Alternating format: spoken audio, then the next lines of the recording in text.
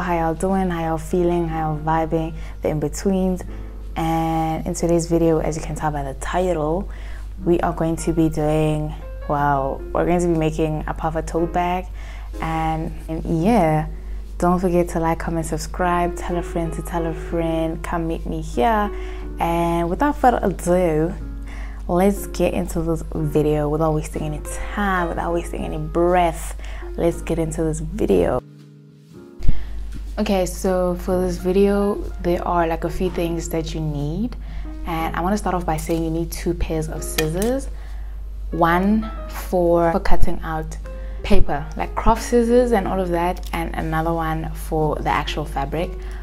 But I don't think we're going to need to cut any paper or stuff like that so i'm just gonna put these aside and act like i didn't say that okay okay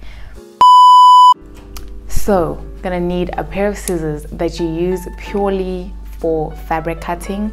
Then you're going to need a ruler and i just use this one because it's it's a ruler. A ruler is a ruler. Like a 30 centimeter ruler would work or even a 15 it doesn't really matter. As long as you can draw a straight line with it then you need it. And then i'm also gonna be using my measuring tape but this one is mainly for like measuring out size or like the length. That's longer than 30 centimeters and i don't necessarily need it to be straight. So that's what it's for. And of course of course we can't make uh, a puffer tote without the actual fabric. So i have already started cutting my pieces out. Don't judge me. Don't judge me. But i'm using cotton twill. I'm using cotton twill in a lavender color. Apparently that's what the that's what the store done labeled it as so that's what i'm gonna call it. But it's it's in a lavender color cotton twill. And also gonna need polyfill which is kind of like pillow stuffing basically. So yeah. And obviously you're just gonna need some thread. And i'm gonna use white thread today because i don't have thread that matches the color of the fabric. But that's what you need so far. And as we go through I'll kind of maybe mention the things you need. Hey from voiceover okay so the first thing you're going to start with is measuring out 26 squares on your fabric and each square having 24 centimeter sides and you're going to cut all of those out since there's 26 of them you're going to pin them together in twos making sure that the right sides of the fabric are facing each other. Once you've done that, you're going to have 13 layered squares. Now you're going to sew along the sides of the squares, but not all four sides, just three, so you can add the stuffing. If you are sewing on a sewing machine, then you know three stitches forward, three stitches back in order to secure the stitch then continue sewing like normal using a straight stitch.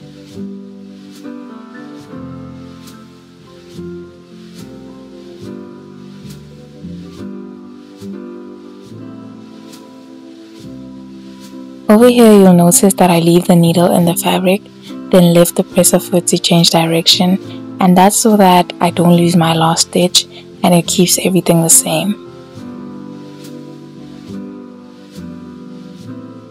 Also, don't forget to only sew three sides of the squares so you can add stuffing.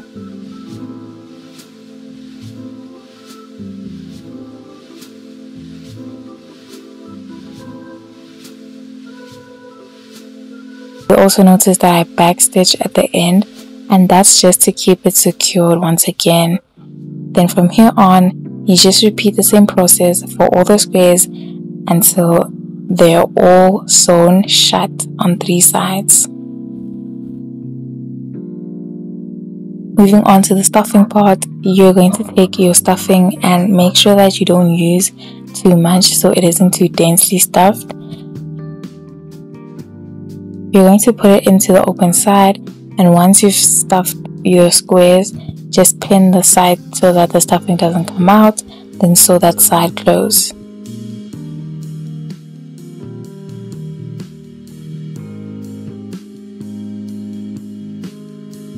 Here I'm just showing that I didn't densely stuff the squares and that they are about the same size. Repeat until all of them have been stuffed Okay, so you're probably wondering where the small rectangles come from, and I can explain because when I initially started making the bag, I forgot about the sides of the bag, and it's not a train smash because everything still works out. Instead of having 13 big stuffed squares, you're going to need only 8 and then you're going to take 3 big squares before stuffing them and you're going to cut them in the middle so that you have three rectangles. And you're going to cut them in the middle so that you have two rectangles from one big square. Once you've done that just go back in and make sure only three sides of the rectangles are sewn so you can add stuffing. All in all you're supposed to have eight big squares and six rectangles that are all stuffed Once this done, you're going to measure out some straps on your piece of fabric. With this step, it's up to you how long you want your straps to be. I made mine 60 centimeters long and 10 centimeters wide. Once you've cut out the strap pieces, then you're going to fold each of them so that the right side is inside and you're going to pin along the side leaving the top and the bottom open. Once that's done, you're going to take a safety pin and pin it into one end and feed it through until the right side is now on the outside facing you. Iron this down to make it flat. Once you've done that, I suggest cutting any pieces of thread that were loose or even any fraying from the fabric you used before moving on to the next step.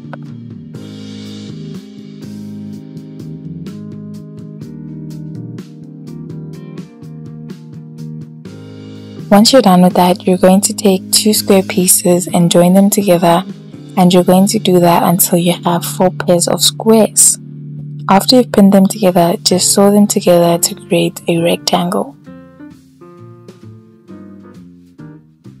Okay, so at this point I was tired and I forgot to film me showing you how to sew them together in order to get the bag shape, but I'll put up a little illustration. So after sewing the squares together, you're going to pin and sew the small rectangles together but on the shorter ends. After that's done, you're going to start putting together the bag and to do that, you're going to take two of the big rectangles made from the square and sew them together on the lengthier side. Once you've done that, then you're going to take the small rectangles and sew them to match the sides and at the bottom.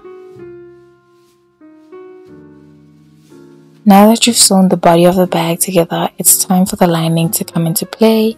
Here just ignore the straps because they are pinned for reference on how the bag is going to look eventually. You're going to take either the same fabric or some lining fabric for the inside. Here I'm showing some black lining because it's the only lining I had. You're going to measure the back, front, side and bottom and cut out lining in those measurements. And don't forget to add seam allowance so that it actually fits. With this step, we're basically remaking the bag just without the puff.